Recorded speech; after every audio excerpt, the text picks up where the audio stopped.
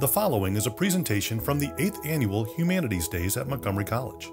Together Apart Creating Spaces for Understanding and Reimagining Society. Due to the 2020 pandemic, all presentations were conducted through Zoom. To learn more about Humanities Days at Montgomery College and to access other program recordings, please go to this website. Ostensibly, the talk today is The Road to Unfreedom, Timothy Snyder's book.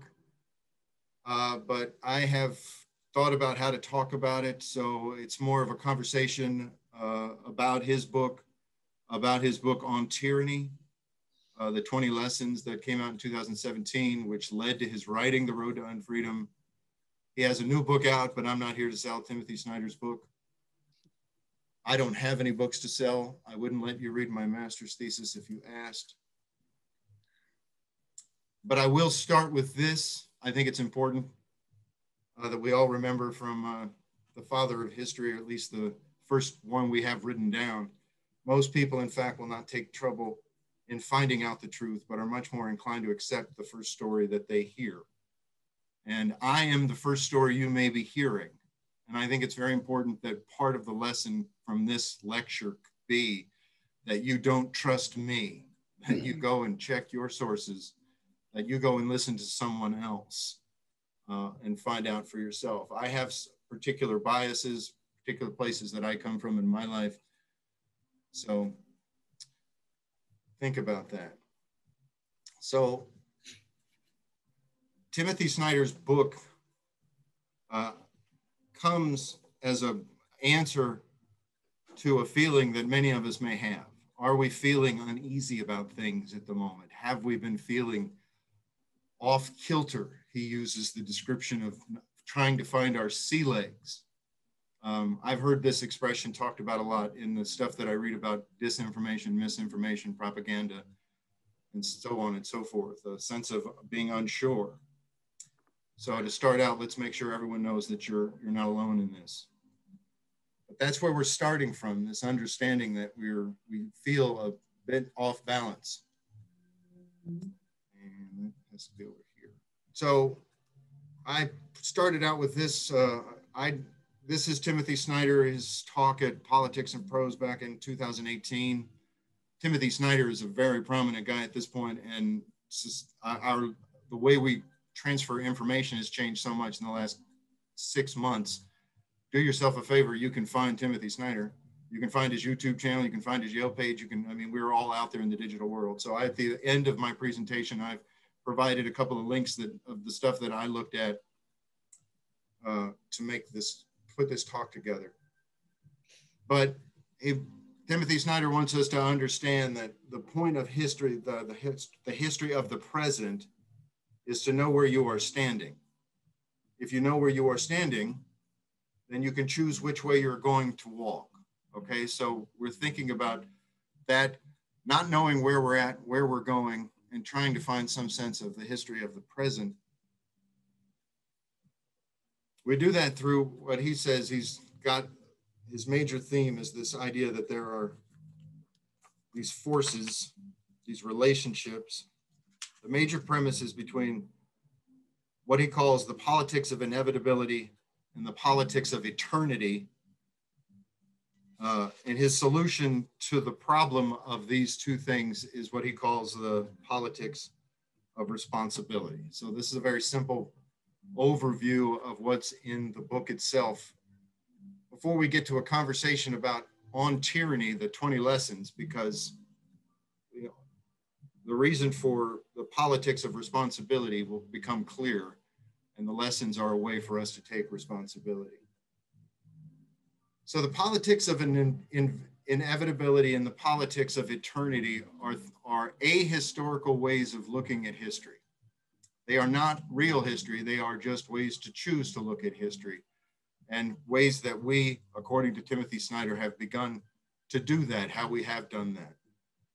So one thing that we're suffering from here in the United States and Europe is suffering from and have been suffering from at least the 90s is what he calls the politics of inevitability.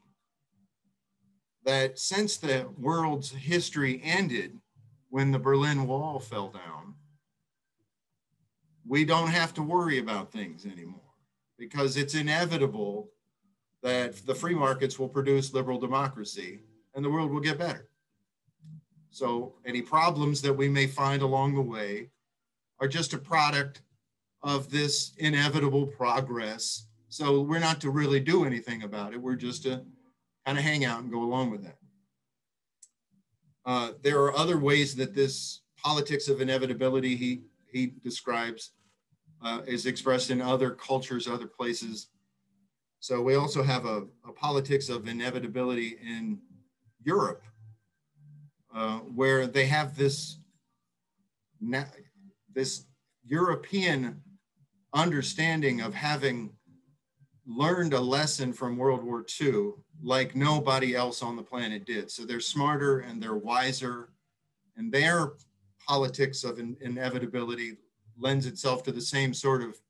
We may have some problems, but we just keep going with what we're going. It, we've learned from the past. We've created this system here at the in the EU because of that, and that's why everything will be fine in the future. But one of Timothy Snyder's uh, more provocative points that he loves to bring up to the Europeans is that that they have been lying to themselves, and that what we see the EU be is the EU is not uh, learning their lesson, and EU is a reaction to what happens when you lose your empires and you have nobody's resources to necessarily use for your profit. So it really was more of a how do we deal with the fact that there is no longer a British Empire? How do we deal with the fact there is no longer a French Empire?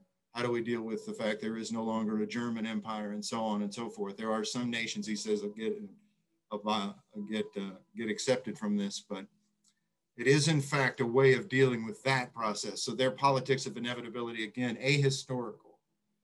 Um, the same thing you could look at the politics of inevitability can, can also be applied to um, communism and Marxism, the idea that we have this way that we're going to do these things and things are going to work out in the end. So this politics of inevitability being ahistorical has created a situation where people have stopped believing in it. Um, it has come to a breaking point. A good breaking point might be considered to be 2008 with the economic collapse this, oh, everything's always going to get better, didn't get better. It got really bad. It got really bad for a lot of people, and we still don't still don't know the ramifications of, of that economic downturn. Uh, there's some other things that he points at that I can't remember off top of my head, but a Russian ruble collapse back in the 90s. Uh, you can just think over the last decade or so, uh, what people might, well, I don't want to go into anything like that, but just the, uh, a lack of faith in, in the systems providing for what they claim they will provide for us. So we have had a break, which has opened up the, what he calls the politics of eternity. The politics of eternity is more of seeing history as a series of cycles that are always returning on themselves. Um, it, it draws its power from the fact that the nation has always been, it's the most important thing. It's always beset by some outside forces trying to destroy it. And all that matters is the state itself and the continuation of the state. We keep telling ourselves that whatever problems, before I go on to, you know, it's the same sort of lack of alternatives, the politics of of inevitability lend themselves lends itself to the fact that there are no alternatives to what we already have. We have liberal democracy, and the fact that there may be flaws in it doesn't make any difference. It's still going to get better. So let's just not not rock the boat. Let's not try to change things. Uh, the, the politics of eternity have the same his, ahistorical understanding, where it's it's eternal national values that we can rely on that will always protect us. And so rather than look at ourselves with a critical eye as a nation or any nation looking at itself with a critical eye, it's always creating a new myth for itself, perpetuating the cycle of an idea that it's really about the state. So we stare at a, eventually, he calls it, describes it as we stare at a spinning vortex of cyclical myth until we fall into a trance and then we do something shocking at someone else's orders that because of the nature of the state we're we're stuck with only not not looking into what we can do but what we have to do to protect the state. It is the uh, the old sparta versus athens uh, teleology is a, a system of knowledge that takes you to a place like uh, capitalism is the free markets will help us get to where we want to go. You, you believe the world in a certain organized fashion. So Marcus Marxism is a teleology and uh, free market capitalism is a teleology that this is the way I understand it. Uh, what would qualify as something shocking is a great question. Let's come back to that. What is what qualifies as something shocking? Because Timothy Snyder is a professor of autocracy, a professor of what happened. His main, most famous book uh, is about the what happened in the after World War II in the Eastern European theater, reprisals uh, and stuff like that. So his study of fascism from the past informs his understanding of what he's talking about today. So you can think of things in the past as being shocking, but we might discuss some things that might be considered shocking today. So, politics of eternity, both being ahistorical, neither one of them being where we're headed, where we really want to head as a society. He has an idea in the book about personal responsibility, the politics of responsibility. Essentially, um, Snyder's arguing from the beginning that we have raised a generation of people that don't believe in real history, they believe in these myths of history. Uh, and we have to be responsible for understanding that history is not something that ends. He wants to get rid of this notion that somehow or another we no longer have to do things whether it's because we believe that it's inevitable things will get better or whether we believe it's we believe it's because the state the, the democracy we've created the fascist state we've created the, the the kingdom we've created whatever the organizing principle for the state is that's the thing that we're actually trying to preserve. So the politics of responsibility understands that history is not something that is acted on us. We act on history. We create uh, what is going on around us. The people that created history in the past acted. They did not sit back and think about it. So politics of responsibility gives us a sense of there's some things that we have to do to participate in this conversation, participate in what comes next. So this is where I want to turn the conversation into these 20 lessons that come from Timothy Snyder's On Tyranny that came out in 2017 because it's a remarkable moment in our history in that we're just a few days away from an election. We are in a situation where the president is suggesting that he might not accept the results. Of course, if he says he's not going to accept the results, the Democrats are not going to the, accept the results. There's so much, so much out there to try to process about this. We're now talking about the president of the 2000 Supreme Court ruling on Bush v. Gore, whether or not that is a precedent, even though it wasn't supposed to be a precedent. So there are a lot of things to be thinking about right now. And I just wanted to go through his lessons uh, and people can chat at me or unmute and have something to say if you'd like as we go through here. But I thought we'd go through the 20 lessons and then open it up for some conversation about do we see any of these things happening? My class has been exploring the idea of are we on the path that Timothy Snyder suggests that many of liberal democracies are on. Um, are we heading towards a ahistorical approach to our understanding of what the government is supposed to do or be? Uh, so let's start out. I, I didn't want to do too much text. So the first the first three that he points out do not obey in advance. Most of the power authoritarianism is freely given.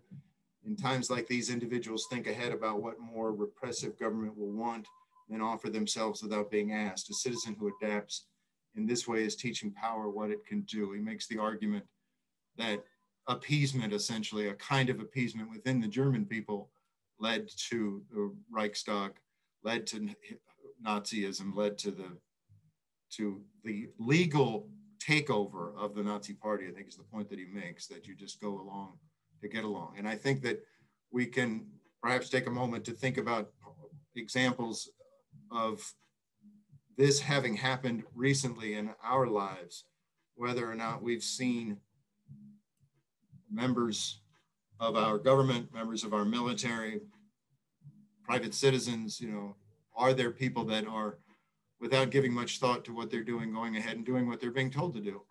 Who are we listening to these days in these, in these instances? Uh, and that plays very well into the second lesson, which is to defend our institutions. It is the institutions that help us to preserve de decency. They need our help as well. Do not speak of our institutions unless you make them yours by acting on their behalf. Institutions do not protect themselves. They fall one after the other unless each is defended from the beginning. So choose an institution you care about, a court, a newspaper, law, labor union, and take its side. I won't bring into the conversation here this defending of institutions. I listened to him give a lecture to some um, German folk uh, in Berlin about whether or not the language of the new authoritarian govern governments in the world are they fascists or not? And he loves to use the term not even fascists. They're just quite shy of being fascists. But this defending institutions um, uh, we've we've seen an erosion of those institutions in in what we've seen going on lately. Um, but it plays the do, do not defend institutions. Which institutions are most important to us at any given moment, I think is a good question. Uh, and I hope that I'm just posing a lot of just good questions. Uh, beware the one party state, the parties that made states and suppressed rivals, remade states and suppressed rivals were not omnipotent from the start. They exploited a historic moment to make political life impossible for their opponents. So support the multi-party state system and defend the rules of democratic elections. Vote in local and state elections while you can and consider running for office. Uh, I wanted to say about the defending of institutions. I think I'm, I'm not an expert on Timothy Snyder, but having listened to him lecture several times and read some of his books, uh, he is more of that kind of historian that's a little frustrating in that he's apolitical, I believe.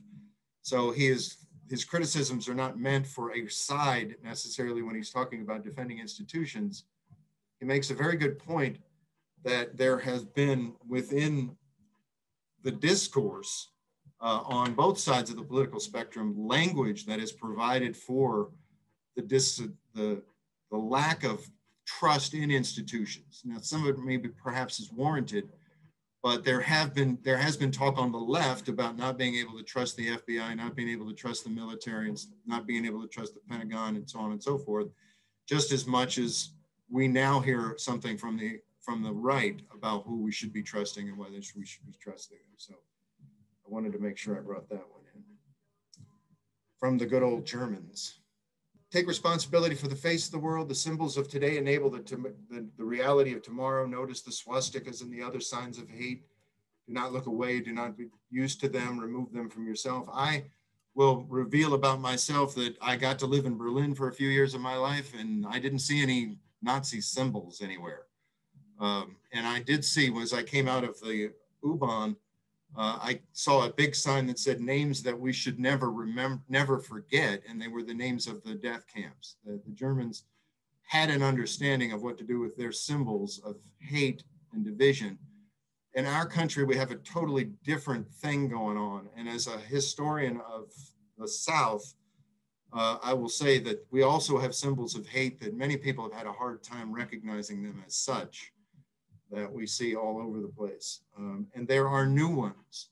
We have to recognize what people mean by symbols when they're being used. So you have to explore these things on your own. What, what does that symbol really mean? What is somebody waving it for? Does anybody know why you might see a young man walking around with a, an assault rifle and wearing a Hawaiian shirt? Is the Hawaiian shirt just a fashion statement or is there something else being demonst demonstrated there? Uh, remembering professional ethics. Uh, I try to model this myself as best as possible, but uh, we have to remember that uh, the point that Timothy Snyder makes in this chapter is that everything happened outside of professional ethics. If everyone who fell to totalitarian states had actually followed the law, followed what they understood to be the truth, then this we wouldn't have had these happen. So when political leaders set a negative example, professional commitments to just practice become more important. It is hard to subvert rule of law state without lawyers or to hold show trials without judges. Authoritarians need obedient civil servants and concentration camp directors seek businessmen interested in cheap labor. We look for these things because we've seen it happen in the past. One of the things that he's trying to do, if we can remember what my theme to this lecture is, finding our place in understanding history, where we came from, so we know which direction to go. Be wary of paramilitaries. It's a particularly frightening one for me because I've watched over the last 30 years the police force become militarized, unlike I had seen when I was in the military. And then I've seen the growth within our country of militias that claim an extra legal constitutional right to, to exist to protect our country. And I never, I had to understand that over the decades. It's been a struggle for me also. But when the men with guns who have always claimed to be against the system start wearing uniforms and marching with torches and pictures of a leader, the end is nigh. When the pro leader paramilitary and the official police and military intermingle, the end has come. So it's a good question to see, uh, to ask whether we've seen this sort of conduct in our country at the moment. Be reflective if you must be armed. The idea that we do have people under arms as we speak who are entrusted with the public safety, public service. If you carry a weapon in public service, this is not if you're a person that's carrying a private weapon, this is in public service. Thank you. But know that evils of the past involve policemen, soldiers finding themselves one day doing irregular things, being ready to say no.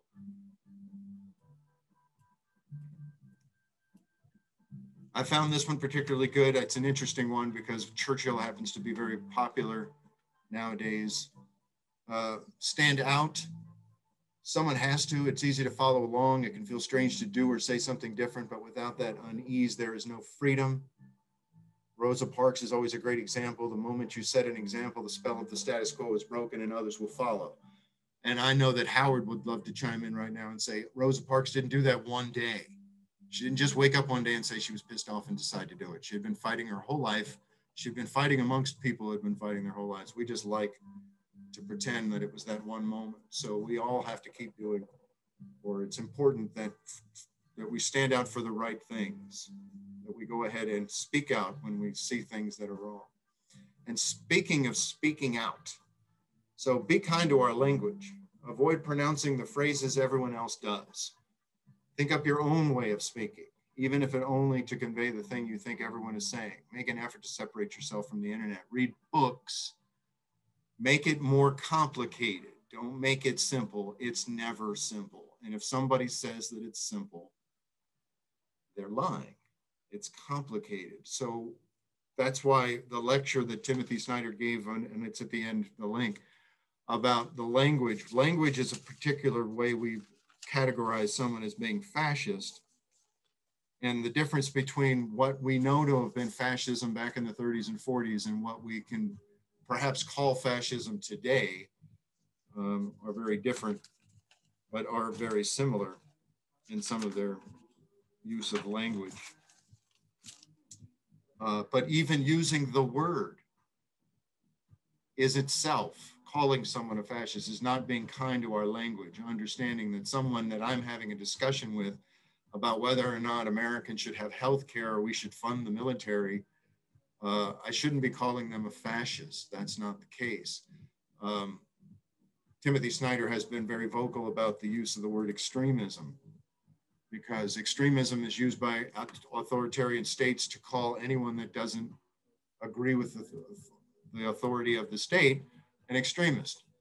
It might have happened in this country, but came, came before I was born, so I don't know. I, I'm sure it's been perfect since I was a young man.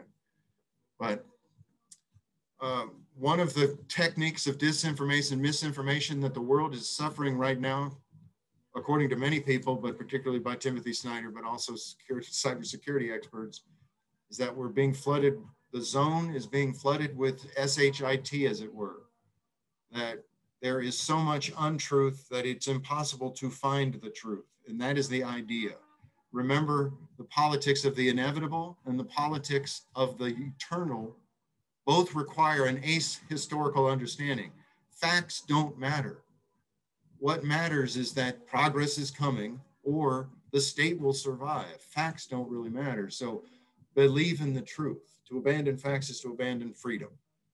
If nothing is true, then no one can criticize power because there is no basis upon which to do so. If nothing is true, then all is spectacle.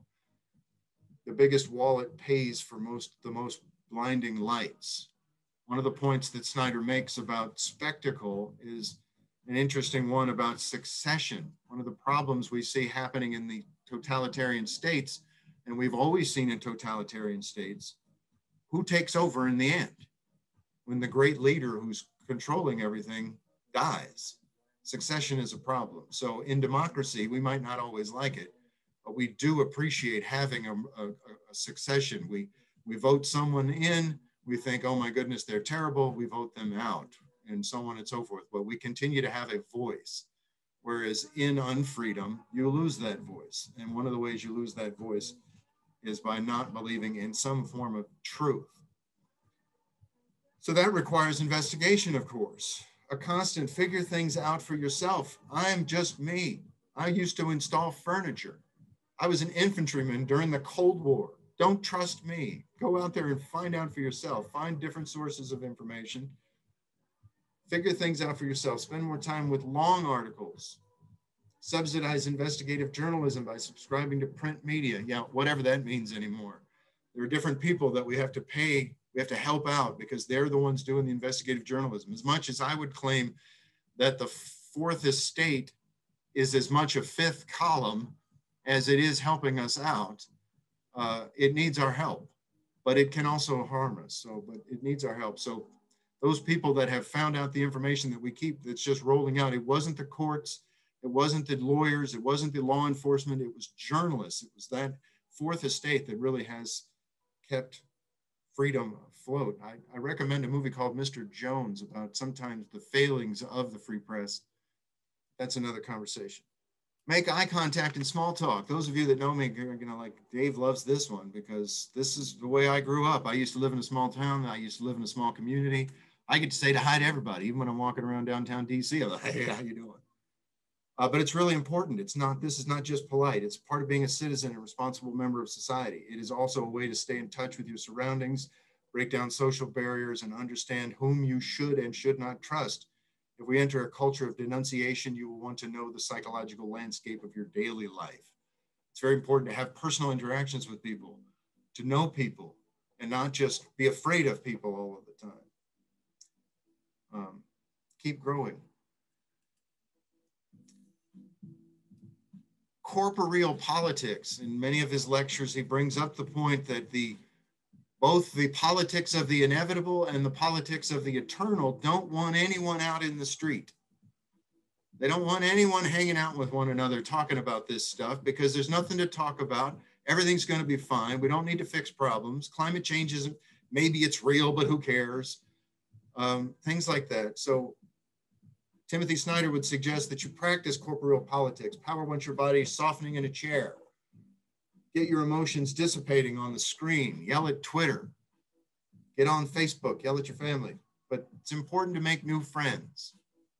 Find people and march with them, he would say. And I tell you, it gives me a shiver in my bones having grown up the way I did in the household I grew up in. The idea that anybody's supposed to protest the government is anathema to the character that I was that I developed as a young man. But it's important to march. I have found it's important to put your body out there and say, "I'm a member of this society," that is saying we have to move forward. Establish a private life. This is an interesting one in our particular circumstances. Nastier rulers will use what they know about you to push you around. So, this is Timothy Snyder's attempt to get you to, to, understand what's happening in the world today, and none of us really can. Technology is sucking our lives into a giant computer mainframe and creating some matrix like thing that is manipulating the way we do things everywhere. And it's going to get worse and worse and worse. And I, I'll invite you to my next lecture about this particular phenomenon when we talk about surveillance capitalism. But um, it's hard to have a private life. But if you're out there like we are, you have to expect that people are going to know and perhaps use it against you, that you're not being private, that you're willing to stand out. So, other ways of communicating with one another is not a bad idea. Contribute to good causes. Uh, I think we all do, especially those of us that are uh, participating in the Humanities Days events this week. You're contributing to a good cause. So, be active in any organization, political or not that express your own view of life. Pick a charity or two, set up an auto pay, and then you will have made a free choice that supports civil society and helps others do good. I remember the thousand points of light. I think my Professor Lieberg will remember the importance of the thousand points of light. You know, there are two views. There have been competing views of government for a long time now. Uh, and we need to bring those two views together with this understanding that, well, we, we both like it here. We both love our country so, you know, we have to understand that there are ways that the government can help that the people can't help, and there are ways that the people can help that the government can't help. And let's let's find that balance of understanding. Man, we could all use a little help now and then. All right, learn from others, learn from peers in other countries. Some people have been yelling at us since the early double aughts about what was coming because they were seeing it happen. And we didn't pay attention because we were caught up in the politics of inevitability. And we were caught up in the politics of eternity. And we weren't listening to the fact that the russians had done a denial of service attack on countries in uh, the baltic states we didn't pay attention to what was going on timothy snyder will go on in the book he uses as an example starting in 2012 particularly you see a, a real um, ramp up of Russian efforts against the EU and the United States as a way of undermining the idea of liberal democracy. Um, and we could have seen that. We could have seen that in the Ukraine, the Russians hacked in, stole data, used it against opponents, supported the totalitarian, didn't su- tried to sow discord. They actually framed, I thought this was wonderful. I'm not going to talk about Putin's philosopher but I would encourage you to look these guys up. They're a lot of fun. Um, there's a couple of philosophers. I didn't see Dugin's name in here, but um, the um, the sexualization of history is a lot of fun. Uh, but we could have learned one of the ways that this information was spread in the Ukraine revolution was that it was it was framed by propaganda as a cabal by the LGBT community to establish a homoocracy uh, and that they had to be stopped. So I think that we can agree that I, personally, I mean, a homoocracy sounds like a pretty darn good idea to me, but uh, let's move forward. Listen for dangerous words. Be alert to the use of the words like extremism and terrorism. Be alive to the fatal. We actually, some of us don't want them throwing that word terrorism around. We didn't want it before and we don't want to start making, we don't necessarily want to start calling the guys that are wearing the camouflage or the boogaloo shirts and the guns, we don't necessarily want to start calling them terrorists either, because remember what we did in 2001 to people we called terrorists. And we never paid, Timothy Snyder would say one of the reasons why we're where we're at is because we didn't do anything about that. So listen for dangerous words. Be careful who's calling who what and using them ourselves. Very important. Um, be calm when the unthinkable arrives. This was the one that hit me first because I was more of a history of World War II than I was anything about autocracy, and I didn't know anything. But be calm when the unthinkable arrives. I've been waiting for this one for the last five years. We had an event similar to this in 2001. When things happen, we get all amped up. everybody gets amped up. So modern tyranny is terror management. The reason that Putin is still in power in Russia is because of his terror management, terrorist attacks that were exceptional moments in history that led to exceptional laws. Things had to be different because look at this, things are different now. We're being attacked. It happened here as well, of course. We need to remember. When terrorist attacks come, remember that authoritarians exploit such events in order to consolidate power. The sudden disaster that requires the end of checks and balances, the dissolution of opposition parties, the suspension of freedom of expression, the right to a fair trial, all of this comes from this idea that this moment in time is so exceptional. We have to throw out our principles. And this is Korematsu. Okay, this is the understanding that sometimes the, the federal government, the president has to prosecute the war, even if he has to break the law to do it. This happens sometimes, and we have to be calm and say, no, Mr. President, you're not allowed to do that. We have to be willing to stand up and say that there are checks and balances. That's the reason they created the system. So we need to be calm. We need to be calm now because we don't know what's about to happen, but we can be sure we're in for a wild ride. I love living history. I used to think it was over too. All right, so here, talk about loaded words. Uh, the word patriot, be a patriot. My goodness, when I had my students read this word, I shiver because patriot to me has come to mean what the radical people call it, not necessarily what I grew up calling it. Uh, that word is loaded. Who is a patriot? Because I used to think that only the people in military maybe were patriots. I didn't think Frank Little was a patriot. And if anybody knows who Frank Little is, or I didn't necessarily know that Shirley Chisholm was a patriot, I didn't understand what a patriot was. So Timothy Snyder does a good job of saying there's a big difference between being a patriot and being a nationalist. So what does it mean to be a patriot has to do with what the principles are founded on. And these again become you have to develop your own values in that respect. What are the values that the country are founded on? Free speech, freedom of religion, you know, the things that are enshrined in the, the, the Bill of Rights. Uh, allowing for these things to be true of all of us allows our society to be better. And this one, I can't believe I gave this to my students again. Uh, this was what was handed to me, though, essentially, when I joined the Army at 17. You're here to die. Uh, I don't think you're here to die. But Timothy Snyder is saying, be as great as you can be. That might mean just being willing to put your face on camera, um, being willing to step up and say your name. It doesn't mean you got to be Tiananmen Square Tank Man. Um, we might need Tiananmen Square Tank Man, uh, but I don't like the idea. I personally, I can't say as I've gone as far as pacifism at this point, but I don't like to hear about violence at all. Howard and I have, have talked about his uh, John Brown metaphor a couple of times because of that. But uh, uh, be as courageous as you can be. So that that really doesn't have to mean that we have to be willing to die. Uh, but eventually, when this thing happens, people do die, and we see that happening around the country, around the world, right? Not the country. Yeah. So here's my one of my last slides. This is how I inspire conversation. By embracing the politics of inevitability, we raise a generation without history. How will these young Americans react now that the promise of, in, of in, inevitability has been so obviously broken?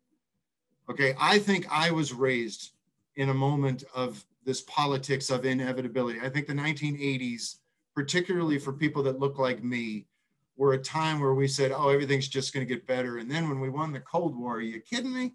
I mean, I actually served on the Berlin Wall. The wall came down. I get to say I ended the Cold War. So I was, I thought it was over. Of course, then I traveled to the Middle East uh, and I found that the history was not over. It keeps going. We keep making decisions about our history. So, what's going to happen to the younger generation? Uh, who do we consider a younger generation is a great question because I think of myself as being quite young still, but I have much younger students. So I thought that was uh, a good way to, uh, I'll, I'll keep it here. And just, just in case we're, we end up becoming a YouTube phenom, I needed to quote Marx right here at the end. Uh, history repeats itself first as tragedy, second as farce. And it, Timothy Snyder wants to, everyone to understand a farce is really a funny thing unless it's happening to you. And then it's not funny anymore. I'm, uh, I have completed my responsibility that I've been worried about for the last several months. And I hope I didn't offend anyone. I hope I made people think about things. And if anybody has anything to say, I personally believe in a little bit of anarchy. Unmute and holler out, or text me that you'd like to unmute and holler out, but I have no control over it. I think there may just be three of us here anyway, but I'm not sure. I don't know how to use Twitter. I don't know how to use this thing very well. Any questions? I have a comment. Okay, Howard, please. Comments are better than questions because I don't know answers. Yeah, th this was very good. I, I, I, learned a lot and got a few things confirmed. But one, one question I have, and I know all of us here that are professors have, is uh, how can I be better at getting students to, uh, what's the best way to say that, to discern what are reliable sources and which aren't. I mean, I, uh, as you know, I'm about as low tech as possible. I'm not on social media. I have no interest in getting constant Facebook posts showing somebody's brother-in-law's dog playing piano. I'm an old, I'm an old curmudgeon. Um, I don't read this stuff, but I'm very out of touch. I remember in the faculty room at, uh, at Rockville a year or so ago, I was reading a book and one, one student stopped by and expressed amazement that I was actually reading a physical book, which you mentioned, David. So, um, and I, I really have trouble with this, not just with citations, but I've actually had students in class uh, mention in support of things that they said, groups like uh, Nostradamus. I'm not making this up. Nostradamus. yeah, some other uh, strange group that believes in in, in events being preordained. I mean, I, I, was talking about ways that they could address a certain issue like immigration. And well, this young woman raises her hand and says, well, according to the Etruscans, that's not it, or whoever they are, you know, it's hopeless anyway. And I mean, I, I am really, I really struggle sometimes how to, uh, I know they're not going to get off the, the internet, but um, anybody that has strategies for this, uh, I would really help because those those filters that you mentioned that we grow up with, you know, they they are gone. Yeah, I, I think that all of my students can very easily answer this with an acronym that I've taught them. And I think it would be great to see them chatting that to everyone. Uh, but it's easier. There is a whole complex world of cybersecurity and data uh, security and things like that that exist out there. But a very simple process to just make sure that you're not missing out on something is to apply what they call the crap test. uh, and it's somebody came up with it once upon a time, and it's not at all profound, but it is just use the acronym CRAP that stands for currency. What I'm reading is it recent? Does it does it actually fit? Is it old or new relative to what I'm trying to understand? is it really relevant to the question at hand? Was I trying to understand whether or not to wear a mask? And it took me down some path about whether or not government scientists are trustworthy. Uh, so is it relevant to what I'm trying to understand? What is the authority upon which this is based? Is this a person I'm listening to an authority in the field? What are their credentials? Or is it coming from someplace that would have an authority? You can also look, of course, for simple accuracy in things that you're looking at. If you see errors, then you can start assuming a lack of thought, a lack of concern for truth. So just any errors start to give you some questions. So as an English professor, it is incredibly troublesome to see misprints in headlines because then I have a hard time trusting the rest of the article, but it is what it is. Uh, and then finally, what the most important thing is the purpose for which the document or the uh, artifact or the object was made. Why did someone decide to put that in print or make a video of that? And if you find out why they made it, you probably can figure out whether or not you can trust them. Now, there's always deeper things that are things like funding.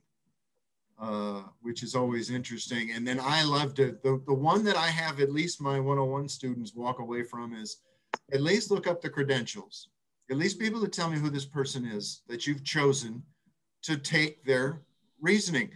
Even the wrongest person on some things can have the right answer on something else. So I don't mind if you bring me a bad source as long as you know you understand bad source perhaps i have to question their judgment on the thing but so yes thank you heather for everyone. Please look at that. There is actually a humanities days event howard that addresses this very uh, issue.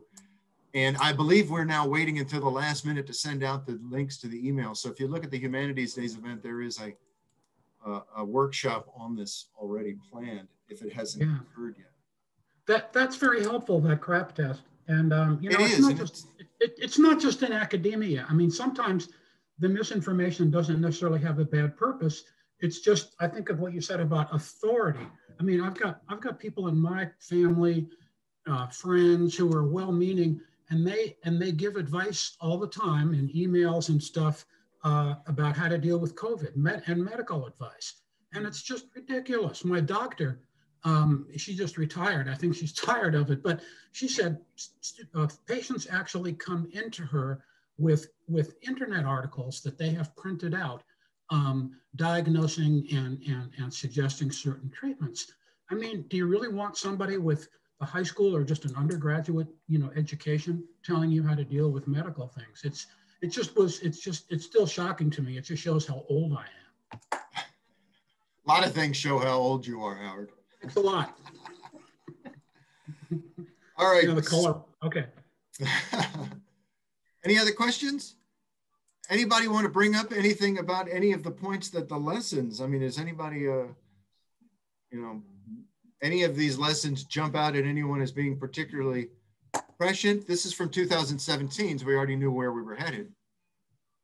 One of the things that, that I found most chilling in the last year was watching footage from Kenosha of the police meeting up with the paramilitary that Kyle, what's his name, was with, and throwing them water bottles and thanking them for being there. Yeah. And I just thought, you know, holy crap, what are yeah. we, what are we in the middle of?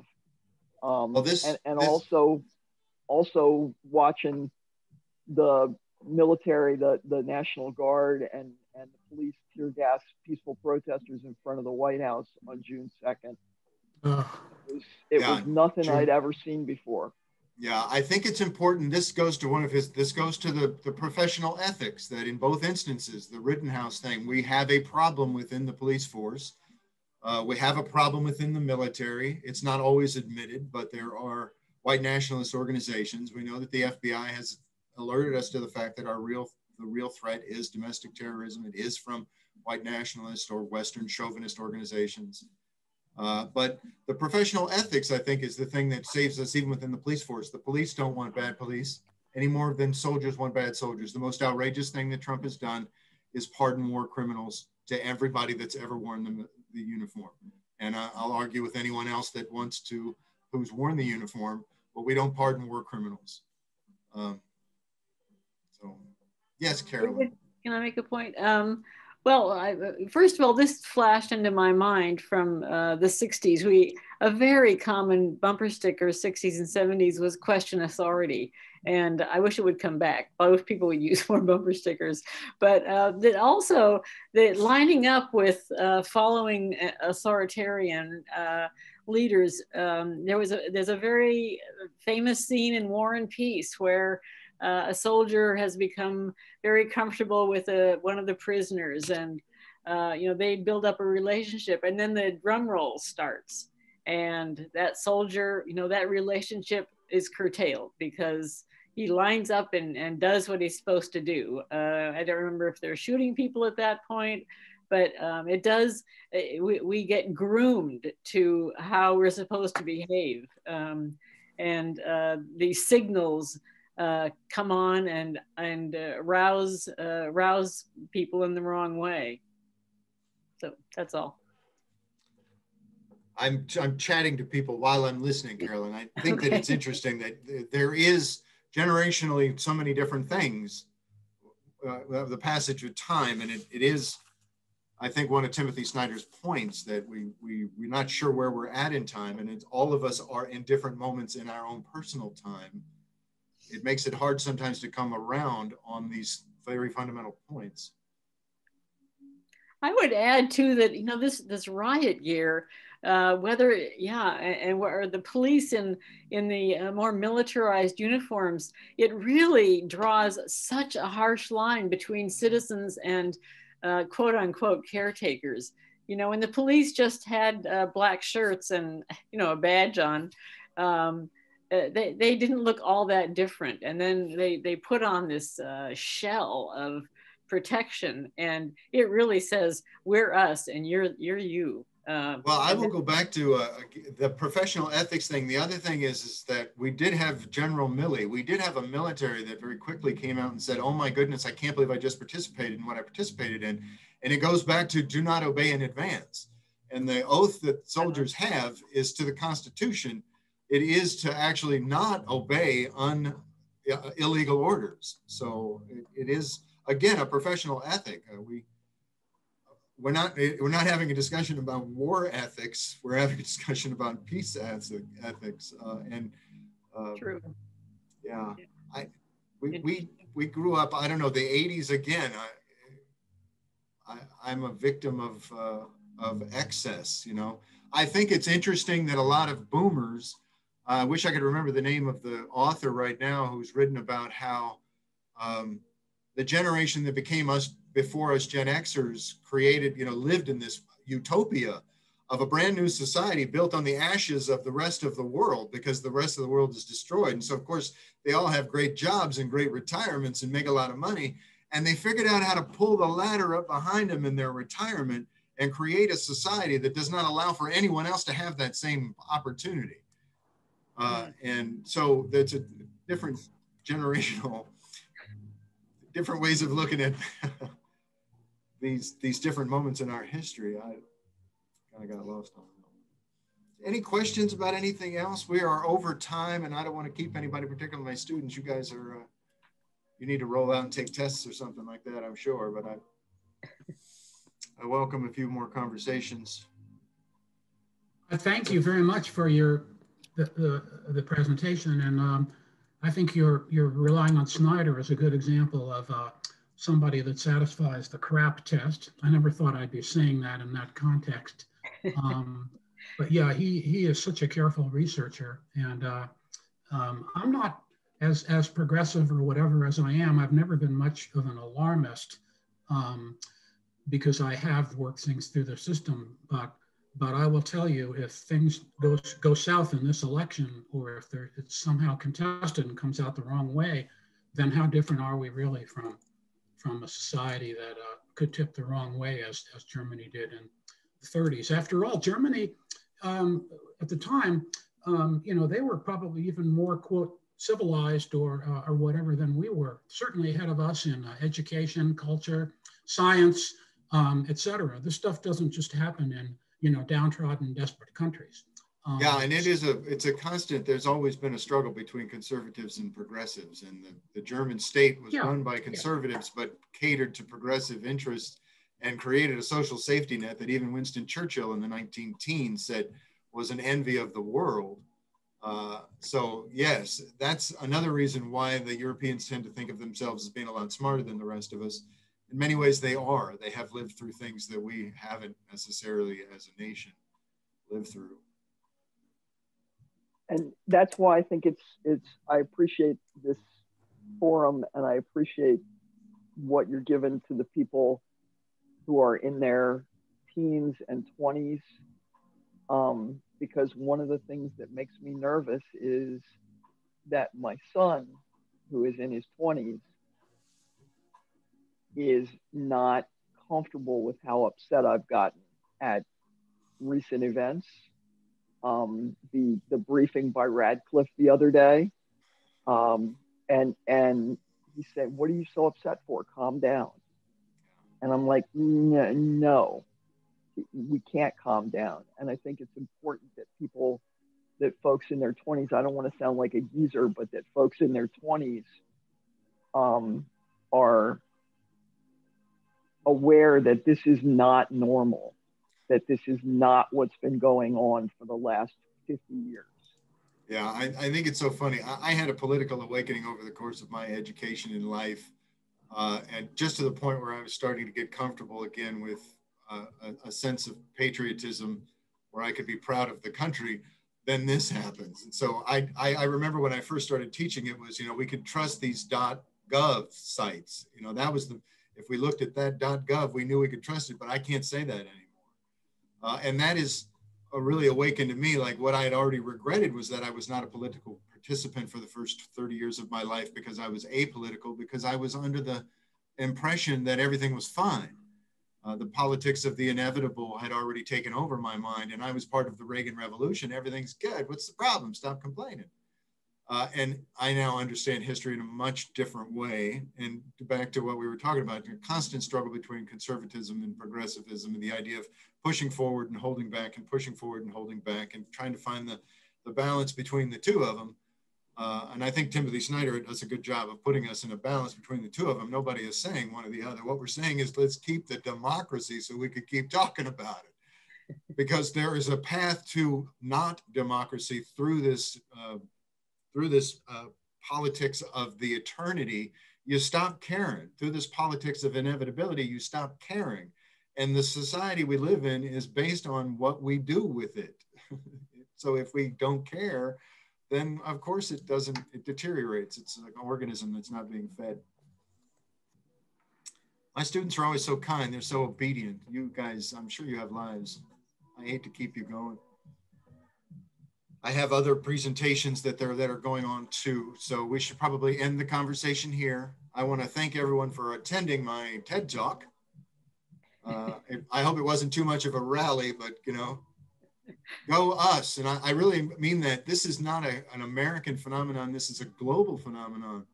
And we are all in this as a world together. What is happening in England right now, Snyder points out that Brexit was one of the things we could have learned from to protect ourselves in 2016. 2015 was manipulated by Facebook data shared with Cambridge Analytica, who then micro targeted Black people and micro targeted progressives. And what I wanted to at one point bring up was that this, this idea that we're the anti government movement, and in many ways comes from the left as well. We have to repair our language when we talk about I can't trust the government. I understand why some people may have grown up not trusting the government. The government has done some terrible things to people, but we have to figure out how to teach people to recognize that it is of our creation. If we create it in our in a better image, we have a better system. Um,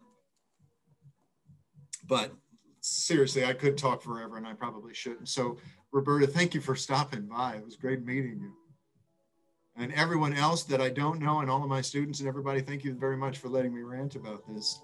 And now maybe I'll get back to my teaching duties.